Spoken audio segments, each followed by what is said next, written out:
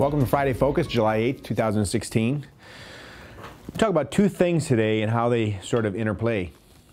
So when we look at uh, new patients, that's what drives our business. You know, we have different sources of new patients. We have new patients that are that are marketed, and we have new patients that are referred. And when we started this our business out, we did mostly marketing for new patients because most doctors and patients really weren't aware of what we were doing. So we did direct-to-consumer marketing that worked really good.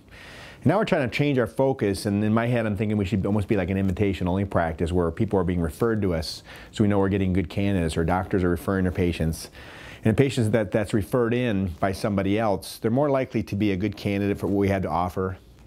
We know we're more likely to like them because they, you know, we like our patients. They send us somebody like themselves the new patient that gets referred by their friend is going to be referred in without having a total misconception of what things cost or what results are, what expectations are.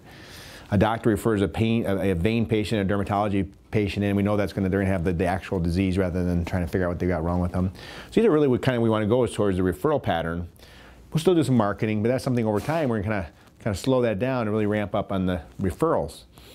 Right now we have physician liaisons that go to doctors' offices and they talk to about the services that we do and we're sending letters to the doctors to thank them for referrals. In fact, the best way to, the best way to increase uh, physician referrals is communicate with physicians. Right now we're kind of struggling with that, so we're going to put some mechanisms in place we can get a better job of, of letting the doctors know we appreciate their business. We certainly want our patients to know that we appreciate them referring their family and friends. We appreciate them trusting us to do our family and friends, to refer their family and friends to us. It means that they have confidence in us. So new patients is a market driver, and that's what our you know our business is based on. Last week I talked about you know revenue per new patient, how you decide whether or not you know or how you determine the revenue we get per new patient based on you know rebooking, get them getting them from a consult into a service versus somebody not getting anything done. The second part is, you know, why do we exist? And one of the reasons we exist is we, we exist in order to bring out the person you were expected to be, the person you were meant to be. Allure exists to bring out the person you were meant to be. We bring that up, we mean that for our patients and for ourselves. And one thing that I think we need to be understanding as an office, and even as individuals, that we should be more giving. You know, that, that's where we're meant to be. We're meant to be more giving. You know, you work, you take care of your family, but we, there's other people who are less fortunate than us. And sometimes you might have bias and say, well, you know, they should be working like I do, or I don't need to give to charities. They could just like pull themselves up by their bootstraps and, and make it happen, or, you know, why are they homeless or hungry and, and they, they shouldn't be, all they to do is work. Well, you know, God didn't say feed the hungry unless they didn't work or in a case you're lazy. He just said feed the hungry. I mean, that's just like we're commanded to do. And to bring us to the kind of people we need to be, we need to be a more giving office, more giving individuals. So what we're going to do is combine two things between giving and then our patients giving us their referrals of their friends. So every new patient that's referred by one of our existing patients, we're going to donate $100 to charity. The practice is. And we have charities, Mary's to talk about those in a minute, ones that we thought were pretty neutral. We're not, not joining to any like select personal charities. These are the charities that our group kind of picked would be ones that we would want to support. And we want to be able to understand the connection between new patients, that's something that somebody's giving us, and we should be giving away too. Okay, so we've got a successful life here at Allure. Uh, we've done very well. We got good jobs and job security. But another thing is, what are we doing to give? To give back to our community. And some people I know are going to the soup kitchen and helping out, going to Samaritan House and helping to feed the hungry, and that's very important. Giving your time is, is an extremely valuable thing to do. We can also give away resources to help people out.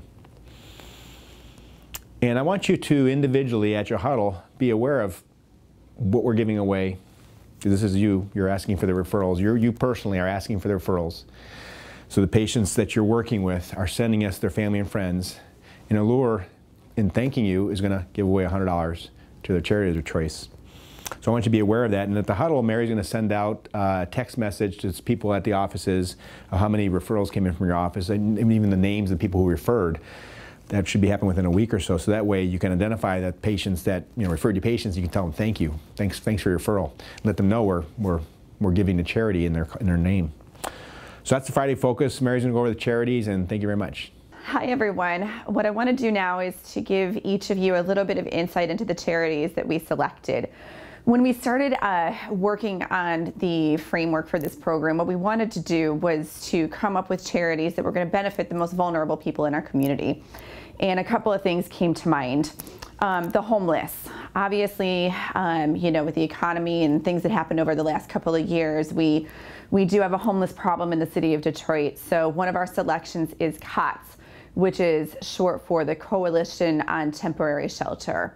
This is a really impressive charity that's been around since the 1980s, and what they do is not only provide individuals uh, with a place to stay, but they actually help them, um, giving them building blocks to try and rebuild their lives.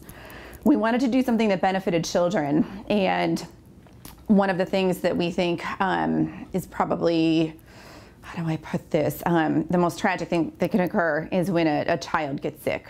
And so we selected a local charity, um, Kids Without Cancer. It's an organization that um, provides uh, research for children with cancer. They're actually building a new lab down at Wayne State University. So if you go on their website, you can read a little bit more about their story. Um, we all love animals. I know I, I, talk with all of you about your pets. Um, we all have a soft spot, spot in our hearts for um, animals, particularly animals that are homeless or abused. So we are working with the Michigan Pet Fund Alliance, which is a shelter that um, is no kill. So animals that go there are, you know, taken care of, receive veterinary services, food, and whatever they need until they're able to be placed into a permanent home. And last but not least, we are an organization that is made up primarily of women so we are working with the local chapter of Dress for Success of Michigan. And for those of you that are not familiar with this organization, what they do is provide women that have been either in abusive relationships, they've been homeless, or any other number of unfortunate things that can occur with what they need to start to rebuild their lives. They give them coaching to go out on job interviews and re enter the workforce, everything from um, coaching and interview skills to an outfit to wear on a job interview. So they're another organization that is very, you know, near and dear to all of our hearts. So those are the four that we've picked. When we launch this program, anyone that refers a patient to our practice is going to receive a note in the mail with a little bit of information about each one of these charities, requesting that they fill out the card and get back to us. Um, and then we, in turn, at the end of the month, will tally those up and be distributing checks to each one of these four very worthwhile organizations. So please join me in trying to make this program as successful as possible because as Dr. Mok said, what we're really looking to do here is to take our marketing dollars and rather spend them on advertising to reinvest that money into our community. So thank you very much.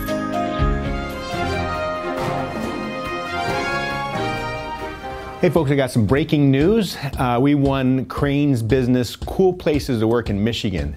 And sometimes I know it's not cool and it's kind of busy and kind of hectic, but overall we want to be a cool place to work. And I'm looking forward to another, another cool year. So let's congratulate ourselves. Cool place to work. Thank you.